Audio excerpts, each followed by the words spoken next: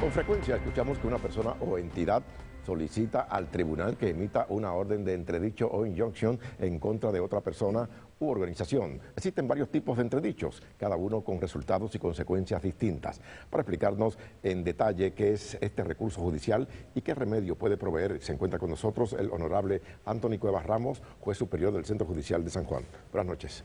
Buenas noches. Bueno, eh, inicialmente, ¿qué es un entredicho? Pues el entredicho provisional es un recurso que radica a un ciudadano cuando pretende paralizar algún, alguna situación que está ocurriendo. Eh, lo radica porque la persona eh, quiere que el tribunal actúe de inmediato. Eso quiere decir que si la, la persona está sufriendo, puede sufrir un daño irreparable, inmediato, urgente, se necesita que el tribunal actúe con premura.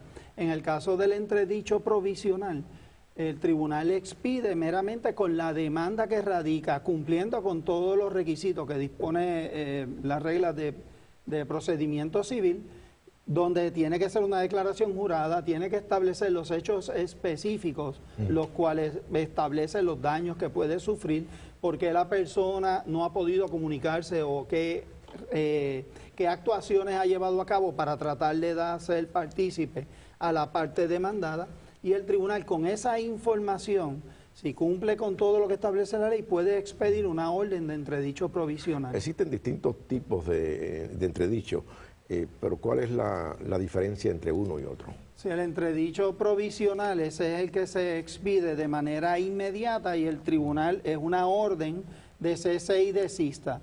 La idea es mantener el status quo hasta que se celebre una vista donde se hace partícipe a la parte demandada.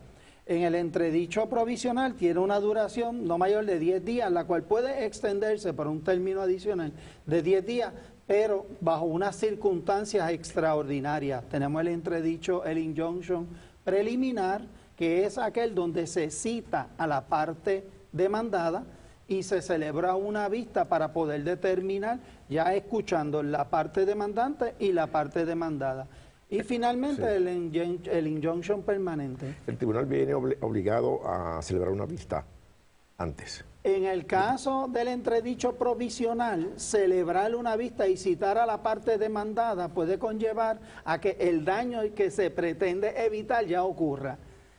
Por eso el, los injunctions, sobre todo el entredicho provisional, el cumplimiento con los requisitos es estricto y riguroso, porque de cierta manera se viola el debido proceso de ley. El tribunal no escucha la parte demandada para poder hacer una determinación y tiene que ser el tribunal bien celoso al momento de determinar si va a intervenir o procede a señalar una vista para el injunction preliminar. ¿Qué consecuencias tiene eh, la parte contra a quien se emite el, entredicho si no cumple con lo ordenado por el tribunal? Pues se puede advertir de un desacato por el incumplimiento con una orden del tribunal eh, se celebra una vista para que muestre causa por la cual no deba ser encontrado incurso en desacato al incumplir con la orden. ¿Son revisables las determinaciones de, de sí, este tipo de recursos? Sí, esas determinaciones del tribunal eh, son revisables a través por el Tribunal de Apelaciones, ya sea a través de un certiorario o un recurso de revisión.